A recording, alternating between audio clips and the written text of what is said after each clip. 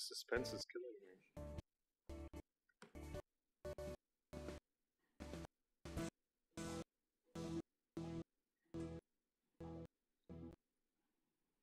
All right, uh, it is four oh two. I'll call the plan commission to order. Folks, could, I'll quick do the roll. Braden? Kim? Marilyn? Aaron? Alder Bellinger? All right, if folks could stand for the pledge.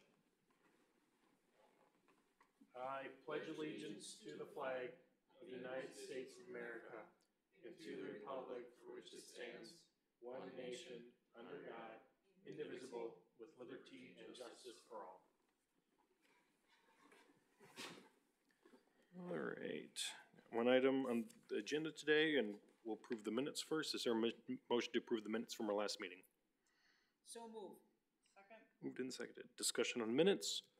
Seeing none, all those in favor state aye. Any objection? Chair votes aye, minutes are approved. Next, item five, application for site plan review by Ted Cohn to construct a walk-in freezer addition at the Kwik Trip convenience store on twenty thirty-three North Avenue. Elise, you wanna give the staff report?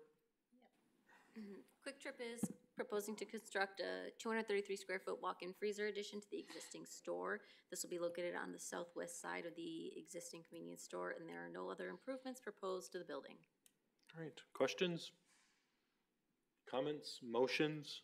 Move to approve, subject to staff recommendations.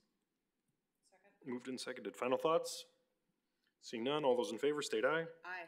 Any objections?